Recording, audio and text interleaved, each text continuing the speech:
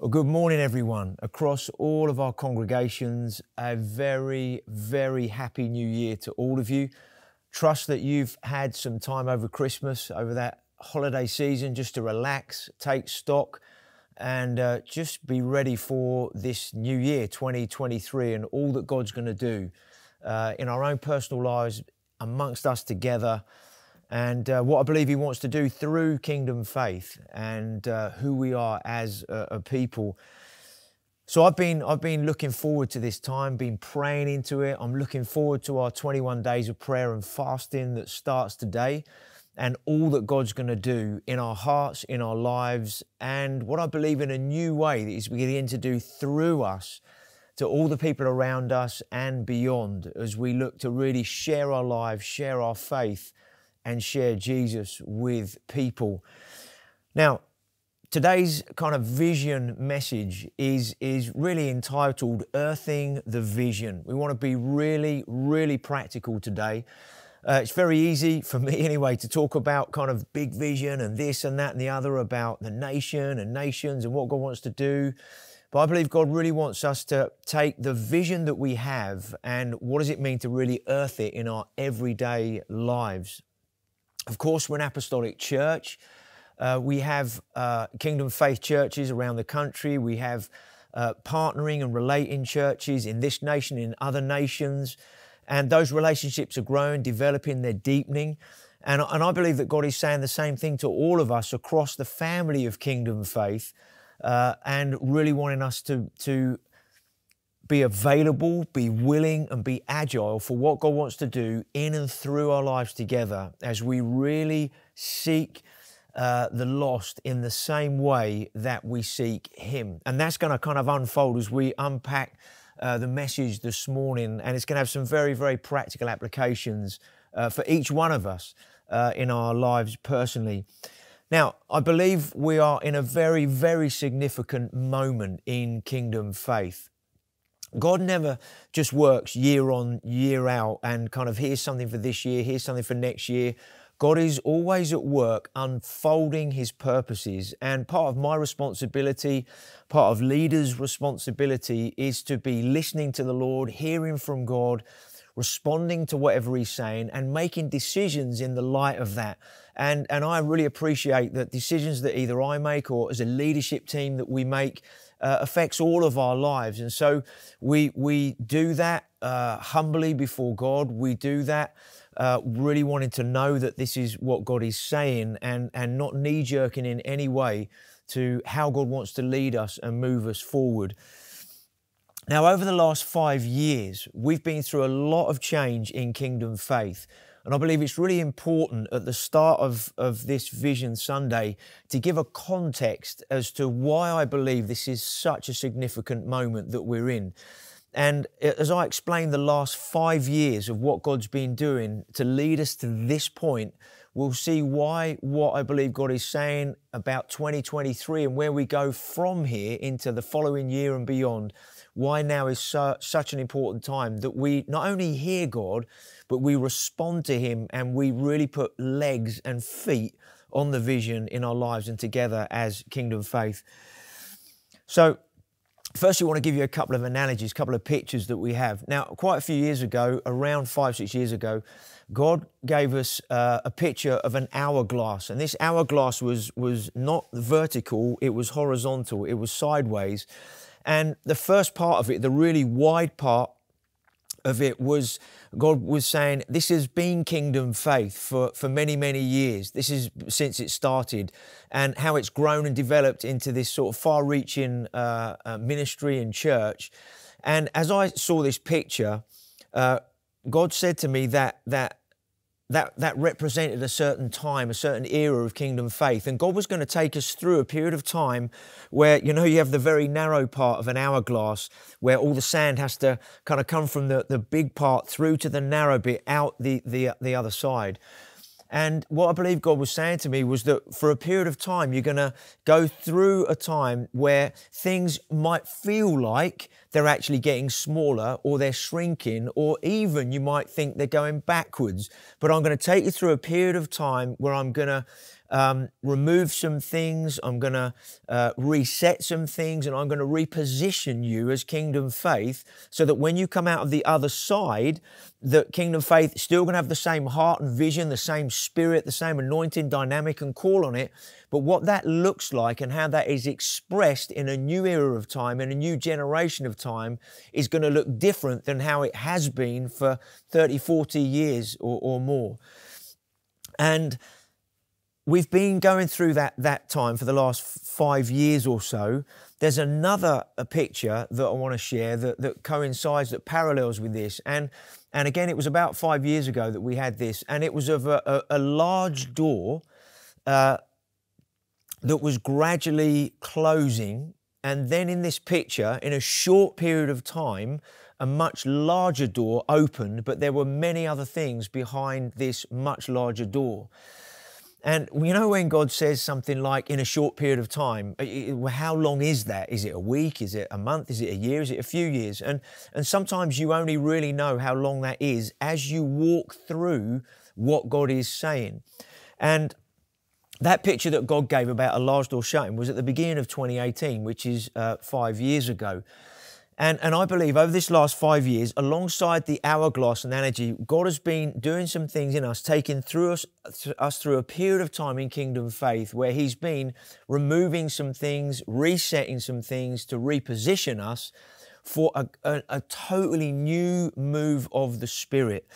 Now, we're all, we're all aware that Faith Camp uh, finished a few years ago. 2018 was the last Faith Camp uh, also, the Bible College. We, we felt at the beginning of 2020 that that was going to be the last year of the Bible College, and obviously then COVID hit, and we had to close the college as it was. It doesn't mean we're not going to train people any longer, but just the way in which we've been training people is going to change. And some of the, what that's going to look like will unfold over the next year or two when we're further in a new move of the Spirit and what God is doing, and then we're going to be more uh, ready to train people in, in a relevant way for going forward than we have done for what was right in terms of where we have been. So, Faith Camp and the college were a huge part of who we are as, as Kingdom Faith.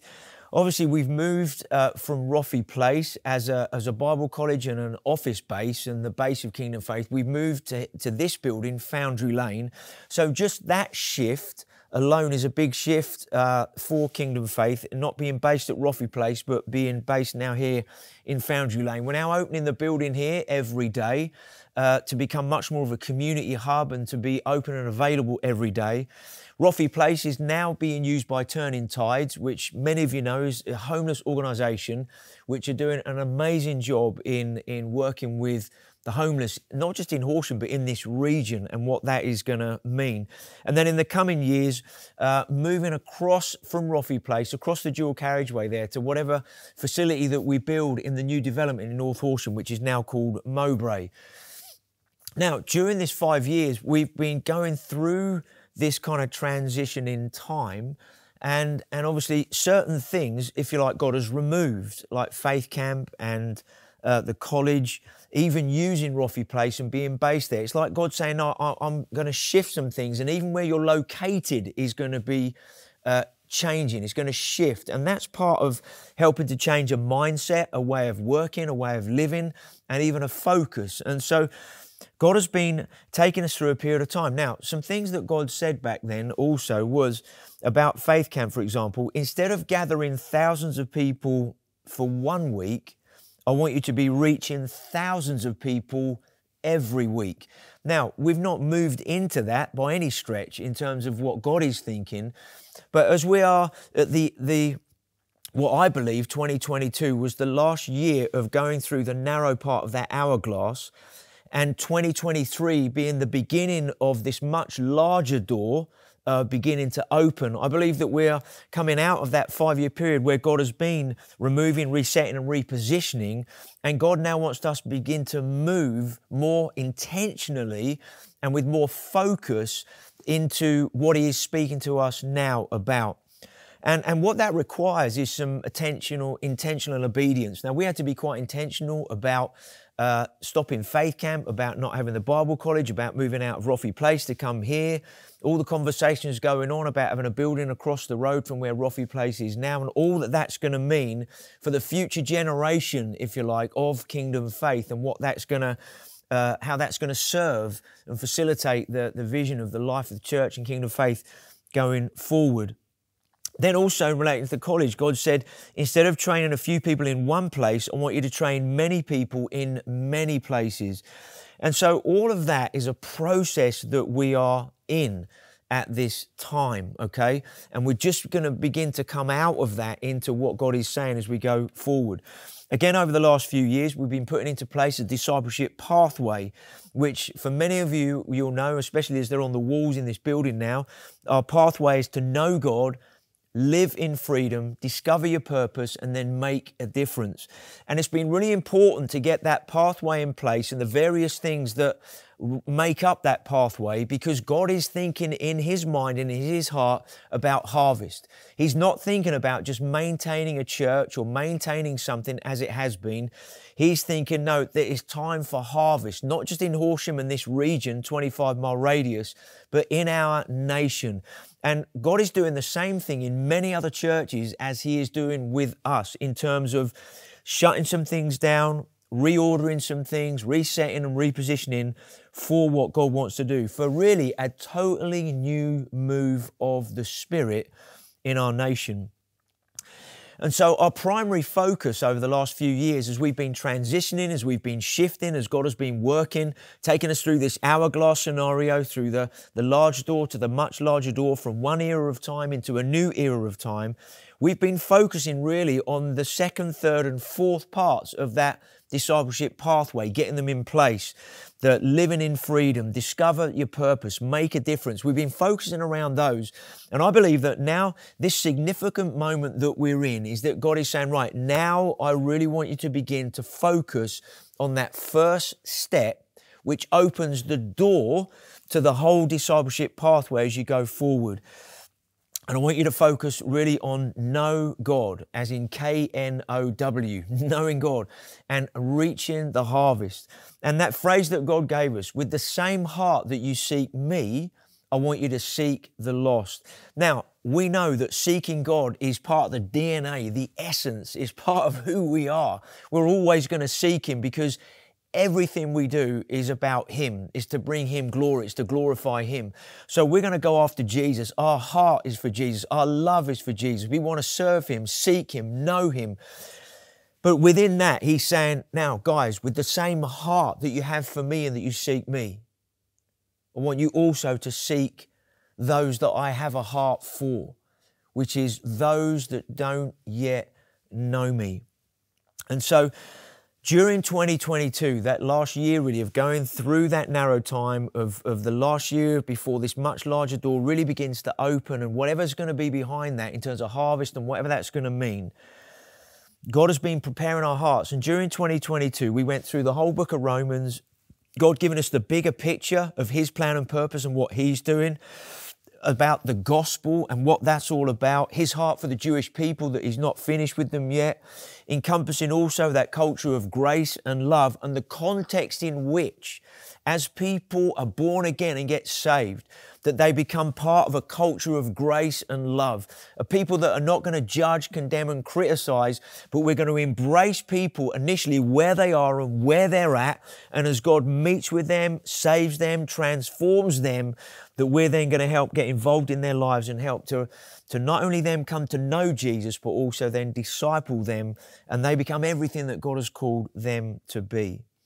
So as we look for a few minutes at this, this pivotal moment, this significant moment we're in, and what our next step is, which is know God with the same heart that we seek Him, that we love Him, we want to seek the lost. And one of the phrases that God has given me was that is, guys, there needs to be some intentional obedience, some intentional action. Everything we do always comes in the context of our relationship with Him, our love for Him. And because we love Jesus, we want to do whatever He's doing. We want to do whatever He commands us, whatever He's saying to us. And therefore, in the context of our love for Him, we want our obedience to be really intentional. And so there's a few things here in terms of our focus for 2023 as we step into this new year that we really want to spend some time unpacking, putting some legs on and, and some goals too in our own personal lives and together so that and put in our diaries even because what you what you schedule for gets done. What you don't schedule for doesn't get done. And I believe that God wants us to schedule for some things in our lives, personally and together, so that we have a focus, we have targets, we're praying into things. We want to hit the target because we want to see God's word and God's promises and God's commands actually come into fruition and be fruitful and effective in and through our lives. So, one of the first focus of 2023 is I believe God wants us to personalize the Great Commission that we need to understand the Great Commission starts with me. The Great Commission is the road to making disciples, okay? The Great Commission is the starting point of us sharing our life, sharing our faith, and then sharing Jesus with people. So God wants to personalize the Great Commission for us. Sometimes when we use that word Great Commission, we think, well, somebody's going to be doing it somewhere. I wonder who's going to be doing it. And God's saying, no, no, this is for you. This is for me. This is for each one of us to personalize the Great Commission. Secondly, the priesthood of the believer. What does that mean? It means everyone has a part to play. Everyone matters. Every life is important to this. There, there, there's no people sitting on the bench waiting to be substituted into the game. We're all in the game. We're all on the field. We're all part of God's strategy, God's plan, and God's purposes, okay? The priesthood of every believer that God has given me, God has given you, God has given each of us the responsibility of being a believer, part of this priesthood of believers for the Great Commission to be personalized in our lives to see other people's lives affected and impacted. The third thing, then, I'm going to respond with some intentional action, intentional obedience. So, with the same heart that I love Jesus, with the same heart that I seek Him, I'm going to respond to what He's saying and actually then seek the lost. Friends, neighbors, work colleagues, family, people that don't know Jesus. We're going to unpack this a bit more this morning, but also over the next couple of months, we're going to be unpacking this with some really practical steps uh, as a church. As I said before, intentional obedience. What gets scheduled gets done. What doesn't get scheduled doesn't get done. So, Jesus schedules things. We can see that over the last five years. We've been working through a schedule, a plan that God has been working out to get us to this point here where we are, ready to continue His plan, His schedule, and what He wants to see happen. And so He wants us to respond to Him today and over these coming weeks and months and into the rest of the year so that His schedule, His plan, His purposes can be outworked in the way that He wants to. Then the fourth thing is disciple making disciples.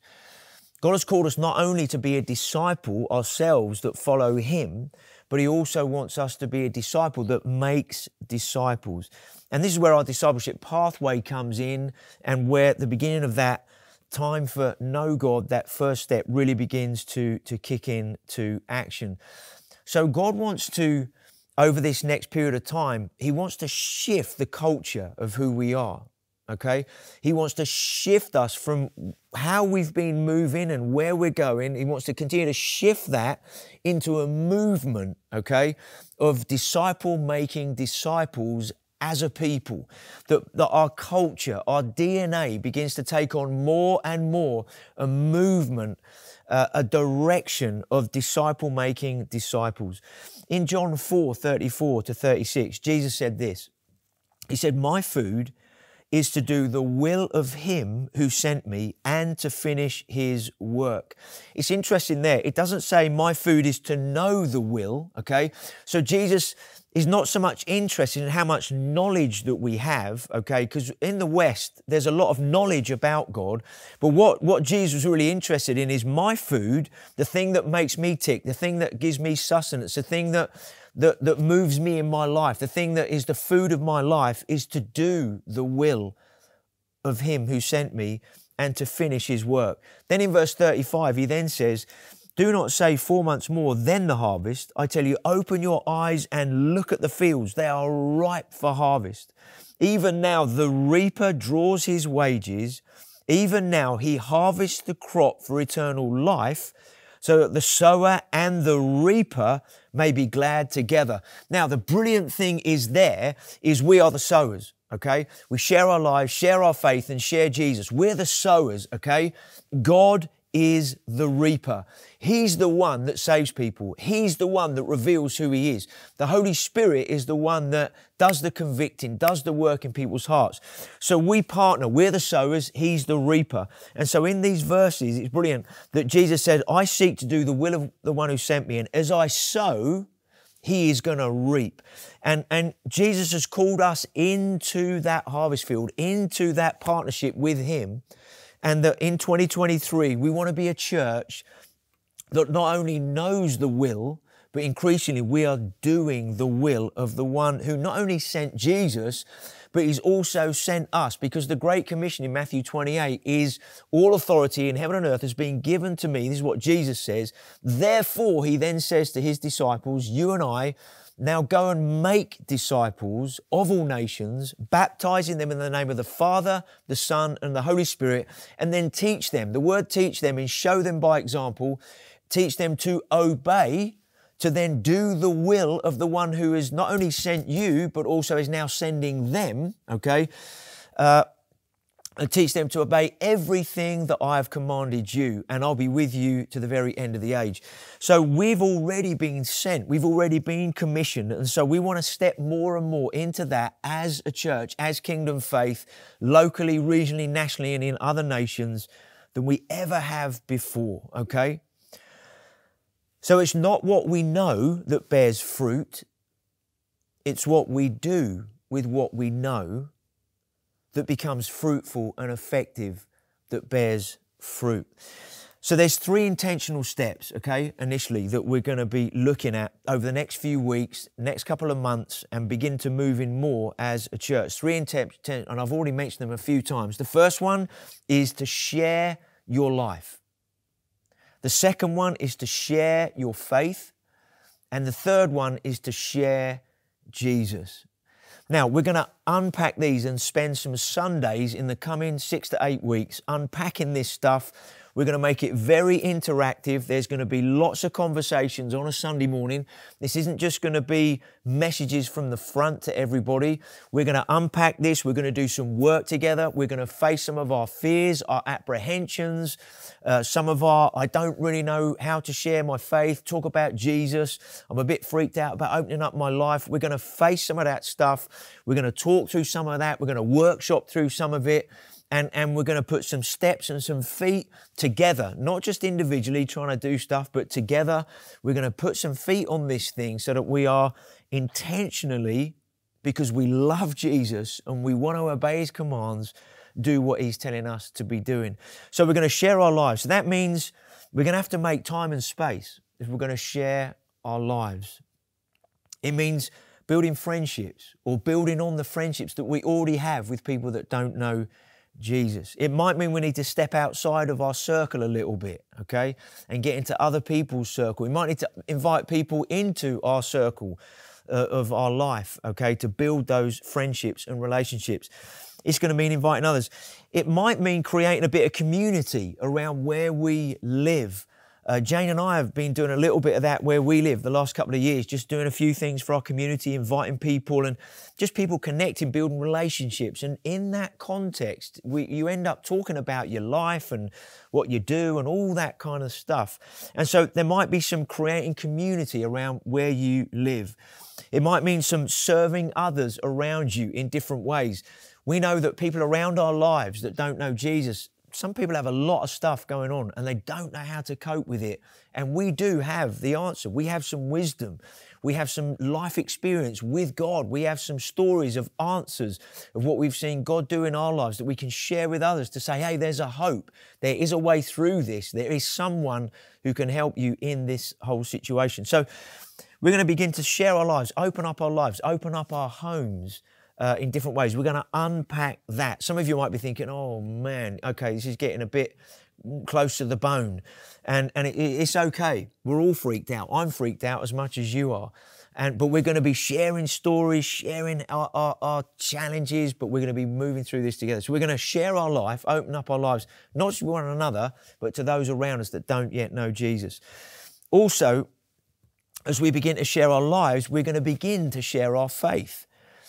You know, as you begin to build relationships with people, just conversations naturally start happening about your life, about life in general, about what's going on. And, and before you know where you are, what you believe and, and some of your principles and convictions, they just come into the conversations.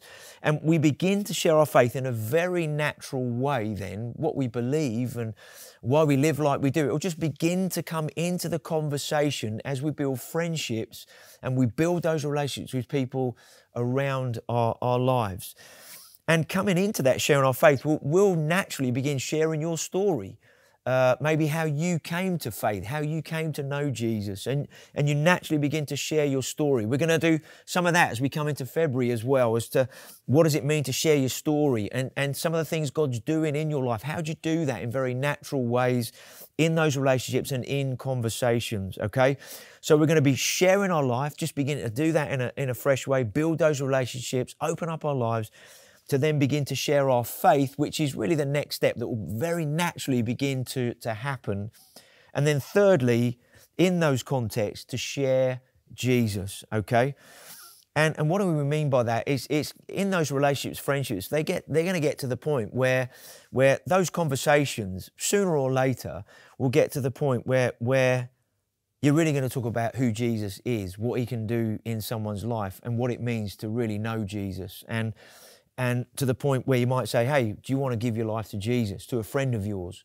Um, and your friends now are people that maybe were a neighbour a little while ago, but now over the next few months become your friends.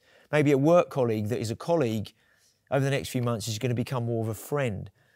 Maybe there's someone else you meet down the gym or in whatever club you might be part of that might be someone who goes there that might become a friend over the next few weeks and months. And so these contexts are going to be very friendship centric in that. And and before we know where we are, we're going to be talking about Jesus and and then possibly even saying to someone, hey, do you want to give your life to Jesus? If they don't ask you that before.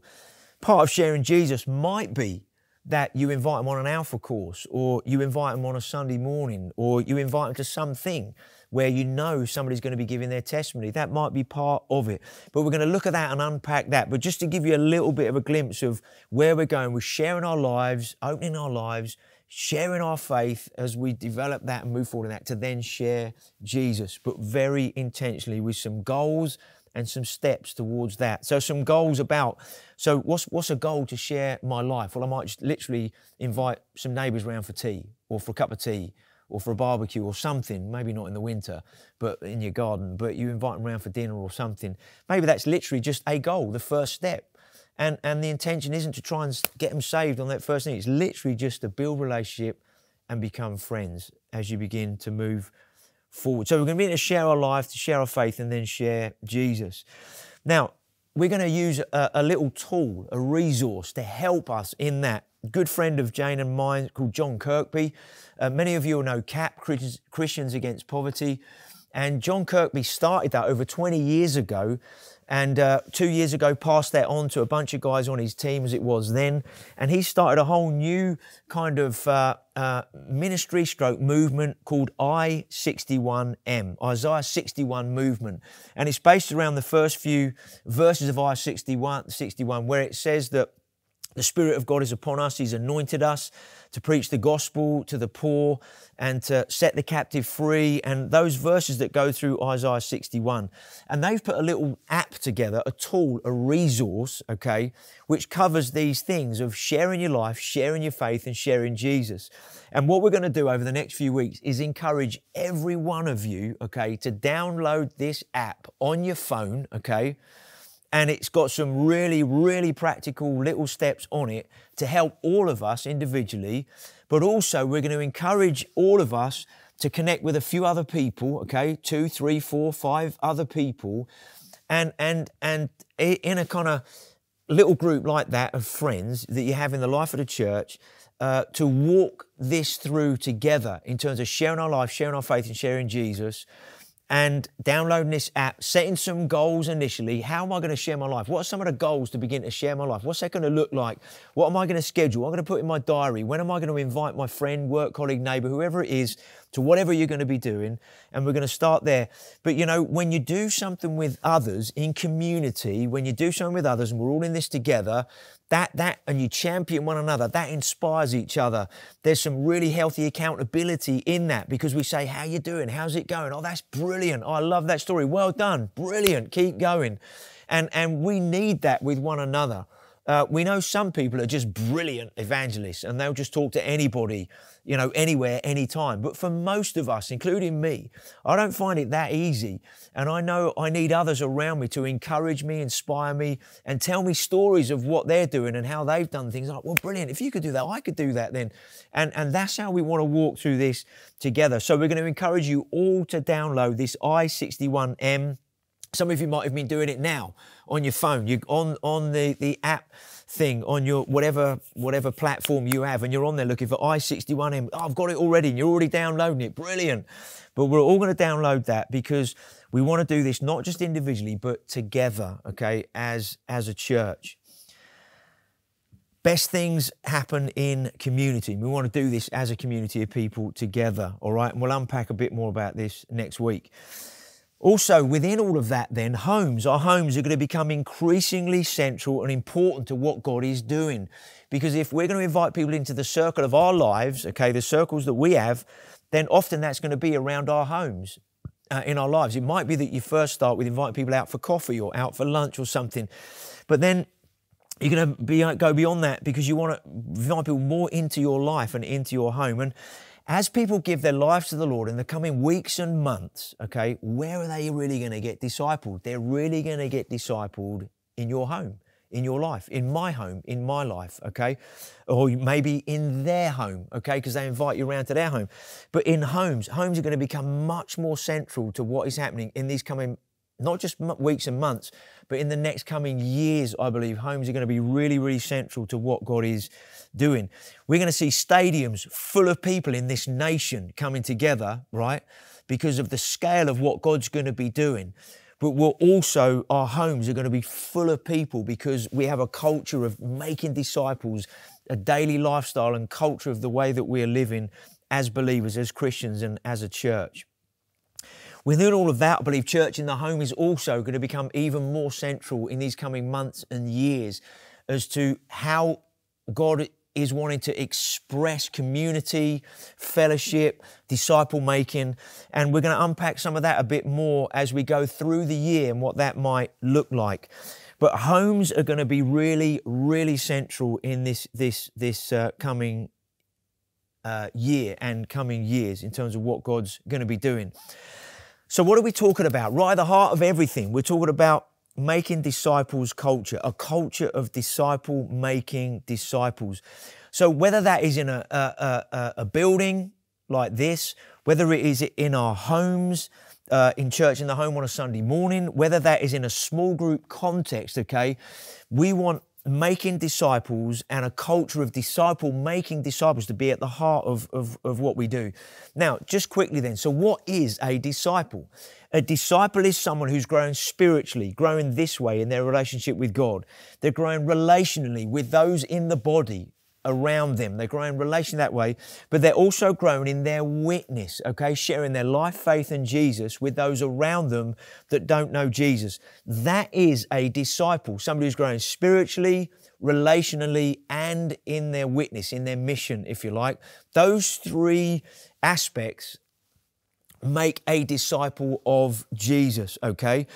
And in anything we do, whether it's Sunday morning in a building, in a home, or whether it's a small group context, okay, there's going to be three key elements to everything that we do. No matter where you turn up to, how we gather, whether in the large or in the small, there's three key elements that are going to uh, take place every time we gather. The first one is we're going to look back, okay? What does that mean? It means in the last week or in the last couple of weeks, what has been happening? What has God been doing? What's been going on in our lives? As we look back, what has God been doing? Story, testimony, okay? Now, we all know that stories and testimonies encourage each other, encourage faith in other people. So we're going to be in, in so even on a Sunday morning when we rock up, one aspect of what's going to happen on a Sunday morning when we're all together is we're going to have a look back time, okay, where we're going to be sharing with each other in the room around tables, okay. So, what's God been doing? What's some stories of what's been happening in our lives, particularly as we are sharing our lives, sharing our faith, and sharing Jesus? What's been happening in that area? Well, and you might say, well, well, my goal over the last couple of weeks was literally just to invite a friend round for dinner and they came. It was brilliant. We had a great time. We just laughed a lot. We talked a lot. It was just fantastic. If that was your goal, absolutely brilliant, okay? And, and so we're going to look back. We're going to tell some stories, share some of what God has been doing. We're also going to be looking up, okay? What does that mean? Two things. Firstly, we're going to worship. We want to look up and worship God. And when we've heard some stories that we're going to worship with thanksgiving, God, look what you're doing. This is brilliant. This is amazing. We're going to worship, but we're also going to look up in terms of God, what are you saying today? What are you saying this morning? What are you saying into my life? Okay. So we're going to look back, testimony stories. We're going to look up. We're going to worship. We're going to listen to God, hear the word. What's He saying? But that's the second part. And then thirdly, we're going to look out. Okay.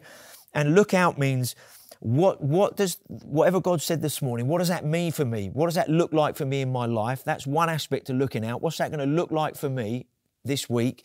But also, the looking out is what is sharing my life, faith, in Jesus going to look like this week, in the next couple of weeks? So, very, very practical steps. So, no matter whether you, whether it's Sunday morning gathering in a building like this, whether it's Sunday morning gathering in a home, or whether it is a small group, okay, meeting in the week, every time we gather with others, okay, we're going to incorporate those three key things look back, look up, and look out.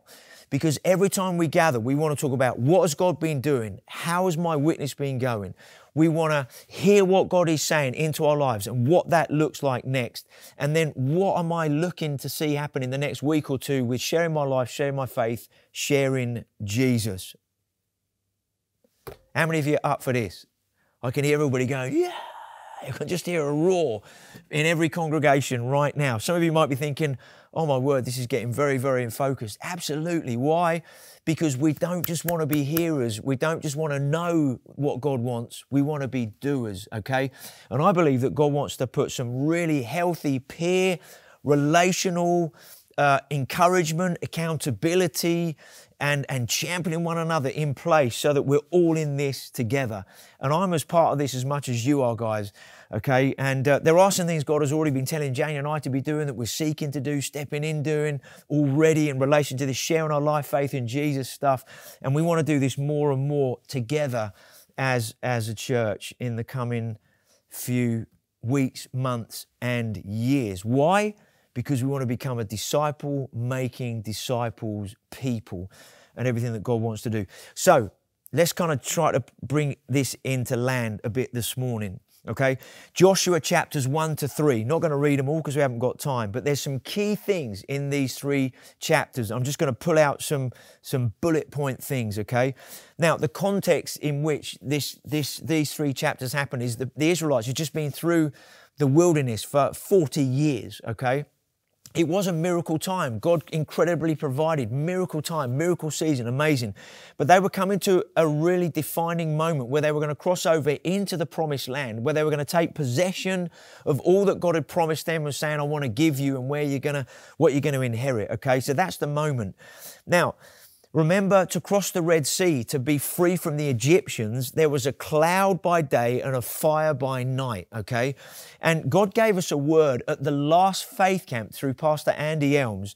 And the word that God gave was move with the cloud.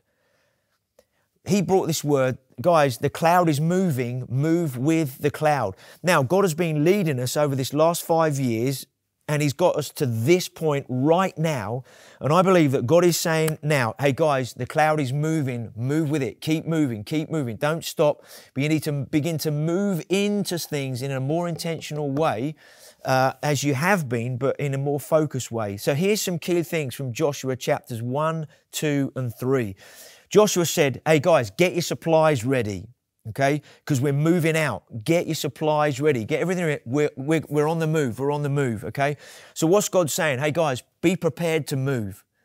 Things aren't just going to stay the same. And I'm not, I can't, I believe God's saying, I can't move in the way I want to if you just stay where you are and you don't give me room and space to move.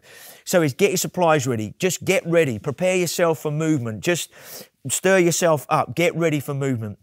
Second thing, he then said, spy out the land. He said, go and have a look and see what I'm taking you into. Uh, there's a couple of reasons. The main reason is when they spied out the land, they went and saw what was there, okay? What is God saying to us? Look, if you're going to spy out the land, you're going to weigh up the cost. See what is before you. Just be go in with your eyes wide open as to what you're going into, okay? So be prepared to move, spy out the land, weigh up the cost, okay? And I'm sure everybody in the light of what we've been saying, everybody I'm believing in our hearts, we're all saying, come on, yeah, we want to see God move in an unprecedented day. We want to be part of a harvest of what God's doing.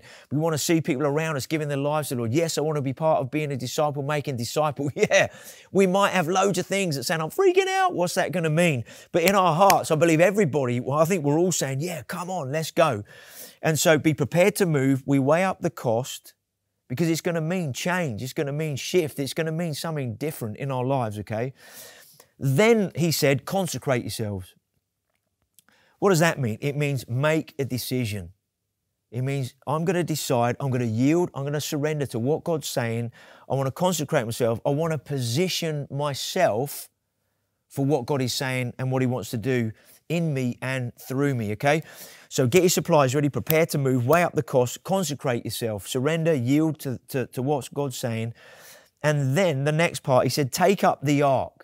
So, in order for them to go across the Jordan into the promised land, the thing was in flood, in full flow. And God said, As you take up the ark, pick it up, and, and as the priests put their feet in the water, in the river, the river's going to stop, it's going to part so you can move, across on dry ground, okay? But they had to pick up the ark. What was the ark? The ark uh, represented the glory of God, okay? And also, it represented the presence of God for them. Now, the ark had three things in there. It had the, the, the, two stone tablets, okay, the Ten Commandments, okay, that's one aspect. It also had Aaron's rod and it had the bowl of manna. Now, they're really important as we go forward in, in terms of what God's saying. So, if, if the ark represents the glory of God and the presence of God, which are two different things, we haven't got time to go into that now, okay? It's to do with worship, the fear of the Lord, and reverence. So we want to move forward in reverence, in awe. We're going to continue to seek Him, worship Him, honor Him in every way. But the Ten Commandments were in there. What were the Ten Commandments? What do they represent? They represented the Word of God and the ways of God, okay? So we want to continue carrying moving forward, we want to go forward in the Word of God and in the ways of God, okay?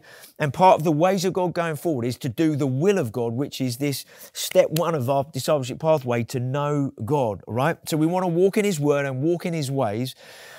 The second thing was Aaron's rod. Now, what did Aaron's rod represent? It represented authority, God's authority, and it represented the miraculous, okay? And as we go forward, God is releasing a fresh authority for us to outwork, to see outwork what He's saying to us. But along with that authority, there's going to be miracles. When they responded to the word of the Lord, they did what God said and they, they picked up the ark, they put their feet in the water. The miraculous started to happen. The waters parted. They could begin to move across into what God was going to do through them in the promised land. So the supernatural begins to happen. God activity gets released in a fresh way when we respond to what He's saying. Then there was the bowl of manna. What was that? That was God's provision. And it represented his provision. God provided food, manna, all through the 40 years they were in the wilderness. And that bowl of manna represents God's provision. So as we go forward, He is our provision, our provider for everything that we need in the face of everything, whether it's wisdom, whether it is discernment, whether it is boldness, whether it is confidence, whatever it is, whether it's the supernatural, God's power to heal people. He, he is our provision going forward, okay? Now, the next thing in, in these three chapters is at one point, Aaron, um, Joshua said, Hey, everybody gather around and listen to the words of the Lord. When God speaks, it releases faith, okay? Then he says to them, Whatever God's saying, do what He says. What does that mean? Obedience. Faith and obedience go together. When God speaks, He releases faith, and He releases faith so that we can then act, we can then do whatever He says, which is the obedience that is worked out. So faith and obedience go together.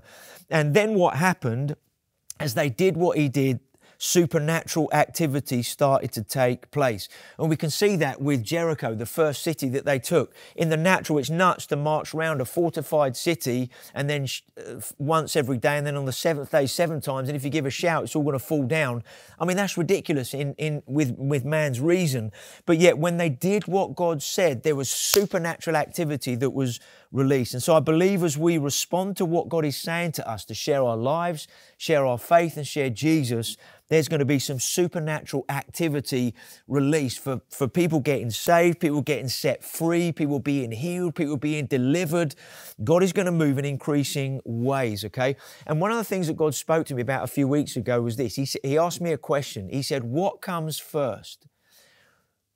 Um, a move of the Spirit or your obedience? Now, we can pray for a move of the Spirit and say, God, move by your Spirit, move by your Spirit. But God is saying, Yeah, I, I'm repositioning you. I want you to make space and make room for me by sharing your life, sharing your faith, and sharing Jesus so that I can move by my Spirit in a fresh way through your lives in a way that I want to. And so we know that whenever God speaks, our obedience is, is comes before there's a release of the Spirit. And I believe God is speaking to the church in our nation at this time. And as we, as the church in this nation, respond to Him and obey what He's saying, we will see a fresh move of His Spirit in an unprecedented way. Okay? So, one picture for you picture of a battlefield that God gave me. On this battlefield, there were quite a number of rows that were right at the front, ready to move, ready to go. And they were like, come on, let's go, let's go, let's go. Loads of people along this front line, ready. Then there were a whole bunch of people behind those, quite a number of rows, that were kind of all dressed in battle fatigue, all ready to go on one level in terms of how they looked, but they were weighing up the cost. They were kind of, they, they realized what this was going to mean, but they were like, do I really want to give my life to this? Do I really want to give my life to the purposes of God? In my head, of course I do, but actually in my heart, do I really want to go there? Do I really want to make space for what God wants to do? Do I really want things to have to shift in my life and make room? So there were many people in that that were weighing up the cost, weighing up the cost. And then there was a third group of people that were at the back of the first two groups who were just wandering around, still had all the battle fatigue on, but the clothing and everything, but they were a bit kind of like not really, they just wanted everything to carry on as it has been. Well, I don't really want that. I just want, you know, and, and actually they were getting taken out, okay, of, of the battle and, and what needed to take place. And I believe that God wants every one of us to be in those front rows, right on the front of what God's doing, saying, okay, God, I'm not sure what it's going to mean. It's going to be challenging. It's going to be encouraged, it's going to be brilliant. And I want to be right that front row. And I believe that's where God wants us to be. And, and maybe over the next few weeks and during our prayer and fasting, God's going to be working in all of our hearts as we spend time worshiping Him, seeking Him, pressing in there in, in different ways, that God will be working in our hearts, readying us even more to say yes and respond to all that He's saying and doing at, in, this, in this moment. So as we come into the prayer and fasting, okay, Prayer and fasting always has to have a focus. And like a gun, it has to have a target. A gun without a target, we're just going to shoot into the air aimlessly and we're not going to hit anything. So our prayer and fasting must have a target, it must have a focus. And the primary focus of our prayer and fasting during this time, as we seek the Lord, okay, is going to be praying into those around us that don't know Jesus and allowing God to work in our hearts. So the focus of our prayer is going to be a breakthrough for salvations, a breakthrough for healings and miracles. Whenever the gospel is shared, there's always signs and wonders that accompany the preaching of the word, okay? And so we're going to be praying into seeing breakthrough for souls, for salvation, for healings, and for miracles, that God sets people free, delivers people as they are giving their lives to Him, and that the power of God is at work in that way. So that's going to form the essence of our prayer and fasting, the focus of it over the next few weeks, okay? And in Isaiah 58, verses 6 onwards, it talks about the kind of fast that God has chosen. The first five verses are about fasting, but people end up quarreling, and because the fasting is not God focused, it's about them and their lives. Whereas in verse 6, God says, Isn't this, is not this the kind of fast that I've chosen? To loose the bonds of wickedness and injustice, to undo the heavy burdens, to set the oppressed free, and to break every yoke. There's some other things that we'll come to in a moment there, but our prayer and fasting is basically to see breakthroughs in that way for wickedness and injustice to be changed, burdens to be broken off people, set the captive and the oppressed free, to break yokes off people. Fasting is for breakthrough, for release of God through our lives into other people's lives. And it has very, very cool, very practical outworking as well. As we go into verse 7, it says, Is it also not to share your bread with the hungry, that you bring your house, uh, that you bring to your house the poor who are cast out? This is where homes again are going to be really important when you see the naked, that you cover him and not hide from your own flesh. I think it's brilliant that Roffey is being used by Turning Tides because it, it, it's still our building, but it's being used to, to help clothe the naked and those that are wandering, those that don't have a home uh, in that way. And I know some of you already volunteered to help out there 2. Verse 8 Then, as we do these things, your light will sh- break forth like the morning, your healing will spring forth speedily, and your righteousness, which actually the righteousness of God is doing the will of God, will then break forth before you, shall go before you, and the glory of the Lord will be your rear guard. There's many other promises in the rest of Isaiah 58 that happen when we fast in the way that God is talking to us about, and then the actions that relate to it that then begin to happen. And so there's spiritual ramifications, implications, and there's practical impl- Im, uh, implications to everything that God is saying and doing. So, what is God doing? He's leading us into a fasted life. What does that mean? A fasted life is a focused, purpose led life. And that's what God is leading us into increasingly as kingdom faith a fasted life, focused and purpose led, which includes prayer and fasting. And so, over the next few weeks, okay, yes, we're going to be encountering God on Tuesday nights together here in Horsham, encounter night. Wednesday nights locally, we're going to have prayer nights and just praying and, and for breakthrough and release, for salvations and for harvest and miracles, okay. Um, there is going to be a prayer meeting here every weekday 1 p.m. to 1:45 if you can make that and be part of that. But there's two other key things I want to bring to your attention, okay? One is our, our, our what we're going to be reading in terms of the word, our daily reading every day. Now, during the prayer and fasting, starting today, uh, January the 8th, we're going to be reading through Psalm 119 over the next 22 days, okay? I know we finished the fasting on Saturday uh, three weeks' time, but on that Sunday will be the last one of the, the, the, the Psalm 119.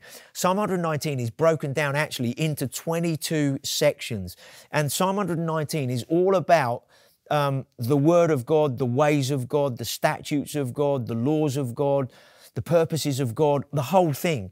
And it's it's then how you live those out and how you you practically put action to those things. And so what I want to encourage you all to do every day, uh, whichever section of 1 Psalm 919 that we're doing, is, is read it, reflect on it, okay? Which means to meditate, okay? So read it, but then reflect on it, go through it, meditate on it. What does it really mean? Pray through it, okay?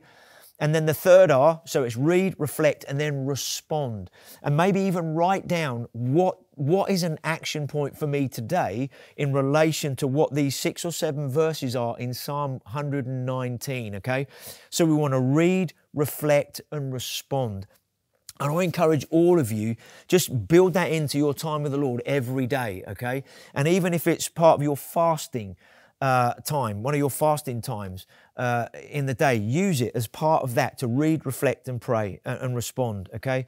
Psalm 119. The other thing is we want to encourage everyone to be part of a prayer triplet, okay? Get with a, a couple of other people uh, and, and pray together Pray for one another during this time. It doesn't mean you're going to meet every day or try and connect every day, but maybe two or three times a week, get with someone else uh, or with a couple of other people and form some sort of prayer triplet or twos or threes or fours if that works for you, whatever is going to work, two, three, or four, okay? Get with some others and pray together each uh, two or three times a week. Encourage each other. Tell some stories. What God is doing in you, what He's saying to you, what He's showing you. Pray for one another, but also one of the reasons to do this, okay, is to be praying into your sharing life, sharing faith, and sharing Jesus. Praying into some of the goals that you're going to begin to set, you know, in terms of inviting a friend round or whatever that might look like for you. And as you download that app and begin to look at it and, and some of the tips and things on there that can help you, okay, we, we want to bring that into those triplets, those quads, if you like, prayer triplet, prayer quads, if you like, to put some feet on the vision and on the legs of what we're doing because that's likely to carry on. We want, we want to encourage these prayer things to carry on into February, into March, into April. And maybe that becomes a group where, where, where you form, not a small group as such, in that way, but it's a, but it's a group that you're forming together, and you might meet once a month. You might zoom each other once a month to encourage, inspire, and help one another with really sharing your life, sharing your faith, and sharing Jesus. And it gives a real focus point to the prayer and praying for one another, encouraging, you know, championing each other on in this whole sharing our life, sharing our faith, and sharing Jesus. I've said a lot, and it's probably taken quite a bit of time, but I believe it's really, really important so here's our moment where the rubber hits the road, if you like. We're stepping into a new era. One era has closed, it's finished, it's gone, it's done with. 40, 50 years, not just in kingdom faith, but I believe in the church, in the nation. An era is finished, and God is opening up a new era of time for the church and what God wants to do. So we're stepping into a new era. Question is here's a couple of questions Is this what I really want? And secondly, am I prepared to make room? Do I really want this? And am I prepared to make room? And I'm sure in all of our hearts, we're going, yeah, I really want this. And am I prepared to make room? And thirdly, what needs to change in me for this to happen, for me to step into this? Now, you don't necessarily need to answer all those and, and try and work out what needs to change. I believe over the next few weeks, God's going to be working in all of us. But if we literally just say in our response to the Lord, yeah, Father, this is what I want. I don't fully understand everything it means, but this is, I want to walk with you and with everybody else in this new era in the way that you want me and you want us to as a people. Am I prepared to make room? Father, just work in my heart so that I, my answer to that is yes, and whatever that's going to mean and look like. And God, will take each of us on a journey what that looks like okay? It doesn't have to look the same as someone else. It just needs to look what it needs to look like in relation to what god is saying to each of us. And then god will do the work in our hearts as we say yes to him. And then the fourth thing in our in our rubber hits the moment moment is holy spirit would you lead me? Holy spirit lead me. Because when you lead me and and i respond there's grace there's everything that i need to respond to you. And as we do that together uh, there's going to be a fresh release of your spirit uh, amongst us. So let's just take a moment to pray, shall we? Okay, this morning. Father, we thank you for all that you're doing. We thank you for the journey you've taken us on as Kingdom Faith for, for decades. But I thank you for particularly this last five years where you have been removing some things, resetting who we are, and repositioning us for this moment now. So that, as you said to us five years ago, if you carry on Faith Camp, it will get in the way of what I'm doing, not serve it. And I want Faith Camp to finish because I want to do something totally new. There's a fresh move in my spirit that is coming to this nation, and you've got to make room for me and for what I want to do the way I want to do it. And so, Father, I believe we're right at the beginning of that large door opening of the hourglass opening up in it for this new era. And Father, I thank you that there's your grace for us to say yes, your grace for us to respond. And Father, I thank you that this morning, as, as we say yes to you,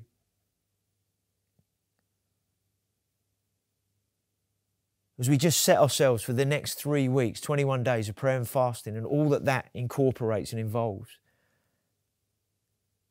As we set ourselves for 2023 to begin to share our lives, share our faith, and share Jesus. Holy Spirit, would you take a hold of me? Would you take a hold of us? Would you lead us step by step?